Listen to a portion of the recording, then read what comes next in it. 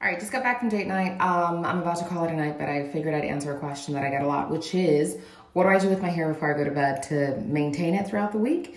Uh, before I used to do like this heatless curling rod thing because I liked defined tighter curls. Now that my hair is shorter, uh, I just want some body to it. Nothing too defined, nothing too tight. So all you need is a scrunchie. Um, I go like this uh, twist it slightly, put it on like this, and uh, the higher the better, but this is pretty much, pretty much it. And uh, it's much more comfortable. It maintains, like it preserves the waves in the body that I want. And then in the morning, I take it out and it pretty much looks like this.